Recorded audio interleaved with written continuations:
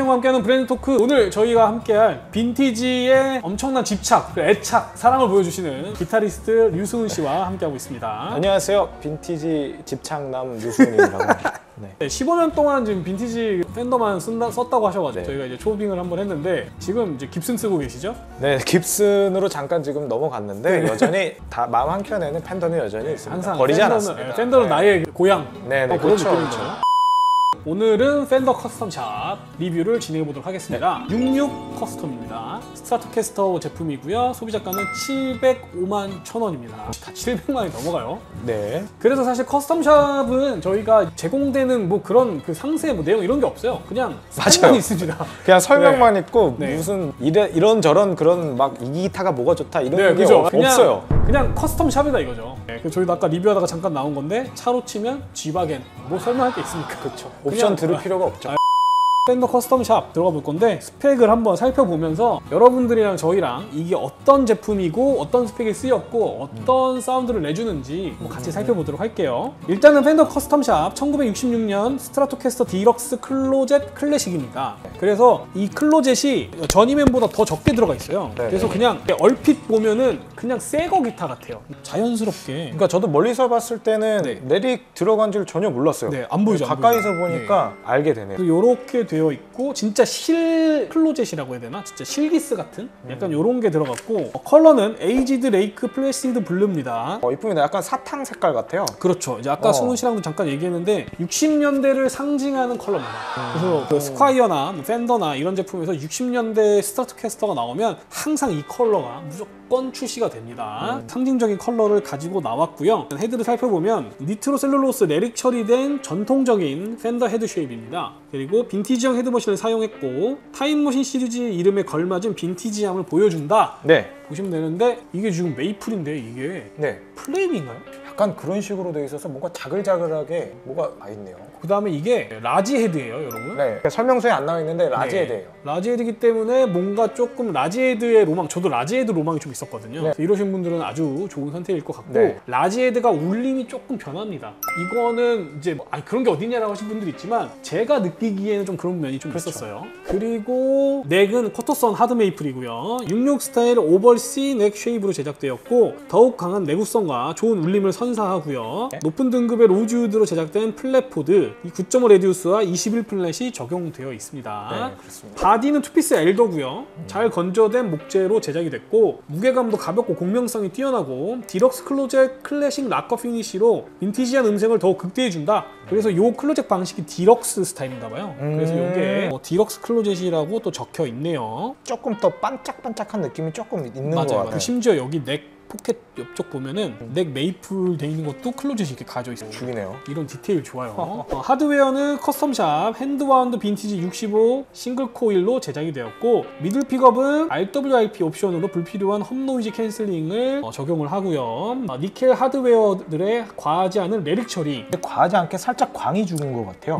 그래서 기타 매력 한층 더 끌어올려준다. 그래서 그 외 스펙은 지판은 round-lam rosewood fingerboard고요. radius는 9.5, fret은 21 medium jumbo fret이고요. bridge는 Custom Shop vintage synchronized tremolo pickguard는 3-ply pickguard가 되어 있고 nut은 bone nut입니다. 네. 그래서 앞부분을 일단 잠깐 저희랑 같이 살펴보셨고 뒷부분 한번 볼게요. 네. 야, 와, 여기 진짜 예쁘다. 진짜. Closet이 진짜 예술로 와. 가 있습니다. 이게 진짜 이게 실물로 봐야 되는데 근래 봤던 Custom Shop 중에 헤드에 있는 그 결이 진짜 아름답네요. 이런 디테일을 보셔야 되는데 네네. 그리고 여기 이 neck 부분만 지금 이렇게 finish가 네, 까져 있죠. 살짝 까져 있죠. 네, 이게 지금 또 relic의 한 그거잖아요. 네네네. 연주감도 조금 더 네. 부들부들한 그쵸. 느낌, satin finish 같은 느낌이 좀 맞아요, 맞아요. 아주 잘 돼 있고 뒷부분에 Closet도 아주 그냥 예술로 돼 있습니다. 아까 이렇게 돼 있는 게 색이 약간 블루 색상이라고 하지 파도 같아요. 이렇게 돼 있는 게 맞아요, 그림이. 맞아요. 너무 이쁘게 잘 돼 있다. 그리고 여기 plate에 Custom Shop 적혀 있고요. 여기 헤드 뒤쪽에 Custom Shop 로고가 적혀 있습니다. 아, 좋습니다. 그냥 디자인을 이렇게 살펴봤고 요거 바로 승훈 씨와 함께 네. 사운드가 중요하니까 한번 어, 들어보면서 체크 한번 해보도록 하겠습니다. 어떤가요, neck? 어, neck감이 일단 뒤에 그 relic 처리가 돼 있는 것들을 제가 좋아하는데 어, 그래서 부들부들하고 여름에도 좀 편하게 좀 칠수 아, 그쵸, 맞아요. 같아요. 땀이 많으신 분들은 오히려 또 이렇게 어, 좀 부드럽게 치다가 땀에 좀 스며들면서 또 레릭이 또 되지 않을까 맞아요. 들어보겠습니다 넥 픽업 네.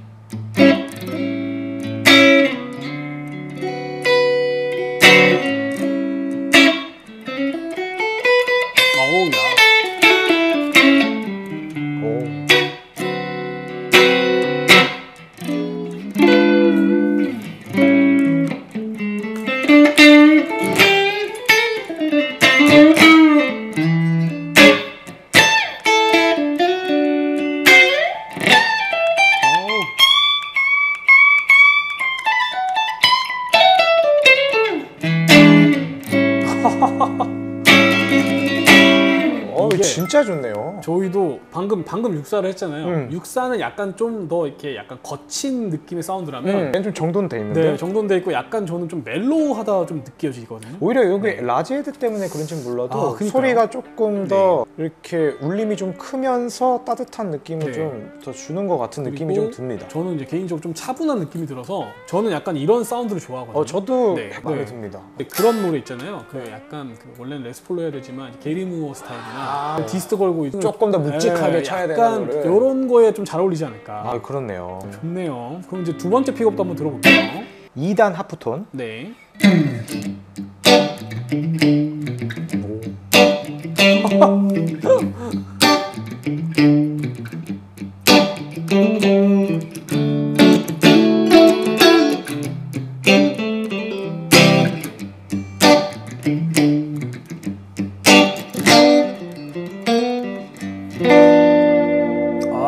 아 기가 막혀. 어, 좋은데? mellow합니다. 진짜 좋은데요? 아, 이거 어. custom이 다 소리가 다 다르네.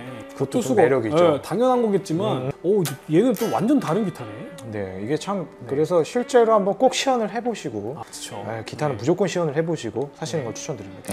자, half tone 들어봤고 이제 middle pickup은 좀 강한 톤이죠.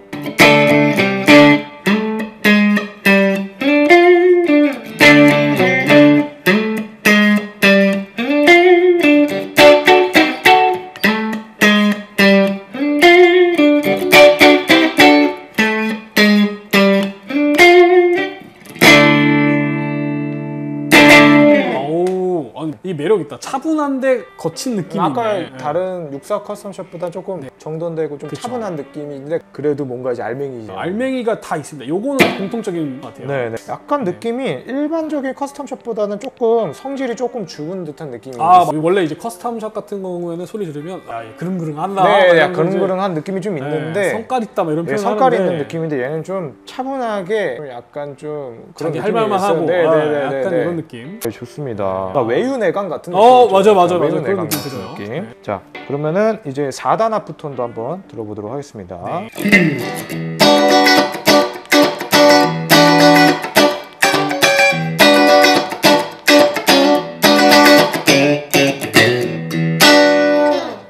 자, 이것도 너무 좋고 약간 좀 멜로우하다 그랬으니까 좀 부드럽게 다시 한번 해볼게요. 네네네. 부드러운 톤으로.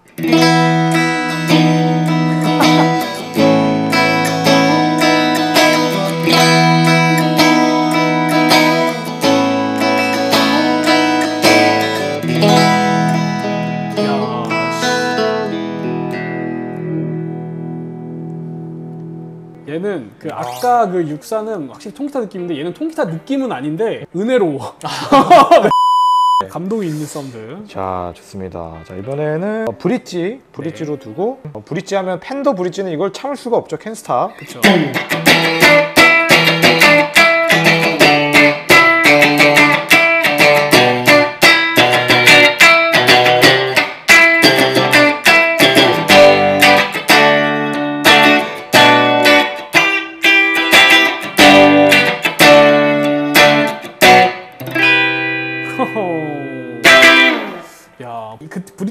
브릿지가 가니까 이제 약간 욱하는 느낌이 있는데 그것조차도 약간 mellow한 느낌이 네, 있으니까. 좀 쏘는 느낌이 좀 없고 네.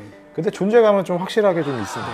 오히려 이게 그 세션 하시는 분들한테 도움이 많이 될것 같아. 어, 모든 custom shop이 또 다 그렇지는 않지만 이 네. 모델 같은 경우는 일단은 굉장히 좀 듣기 싫은 그런 사운드는 싹 네. 걷어내고 맞아요, 맞아요. 되게 mellow한 느낌을 줘서 음. 약간 요거 마음에 드시는 분들이 분명 있을 것 같은데 한번 어. 쳐보시고 좀 생각보다 저는 이게 제 스타일이긴 합니다. 이런 이런 네 스타일. 외관도 사실 그렇게 그냥 멀리서 보면은 잘 몰라요. custom shop이 아니라고도 느껴질 수는 있어요 맞아요, 맞아요. 그런 걸 좋아하시는 분들한테 되게 좋을 것 같아요 그냥 그리고 이제 원래 네. large head 같은 경우에 디자인 면으로 봐도 large head가 원래 70년대에 나와야 되는데 이게 60년대 모델에 적용이 돼 있다 보니까 음. 그런 장점이 있을 것 같아요. 조금 60년대와 70년대에 좀 약간 그런 만남? 약간 이런 약간 느낌. 약간 빈티지 하이브리드인가요? 아, 약간 그런 느낌. 빈티지 그 하이브리드. 60년대와 70년대 를 어. 둘다 가져온 그런 음, 느낌이고요. 음, 그럼 distortion 사운드를 한번 번갈아 가면서 좀 쳐주시면 요것도 한번 쳐보겠습니다.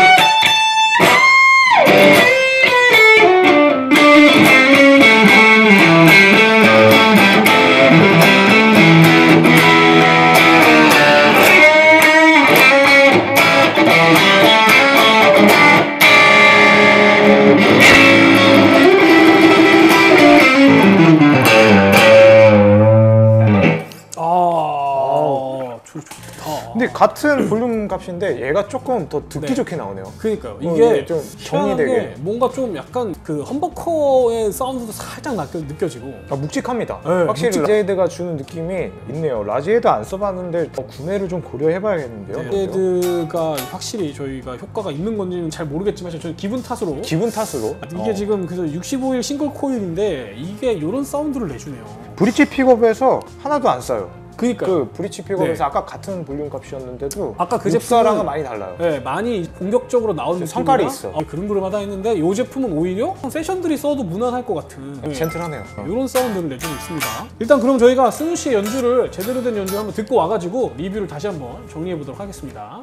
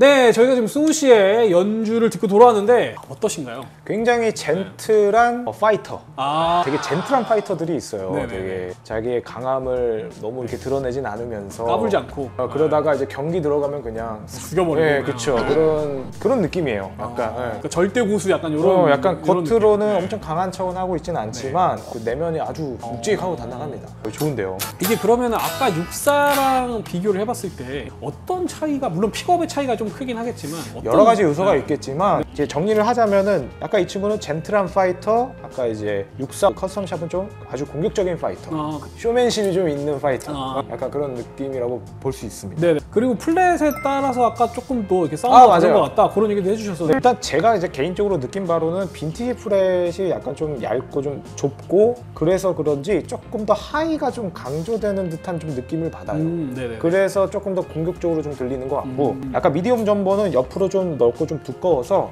그냥 톤이 조금 더 모던한 느낌이 좀 더 생겨야 아, 네. 펀치감이 좀 제공이 돼서 알맹이가 좀 굵어지는 느낌이 좀 아, 들어요. 그럴 수도 있겠네요. 그래서 그런 네. 차이가 물론 blind test하면 전 못 맞춥니다.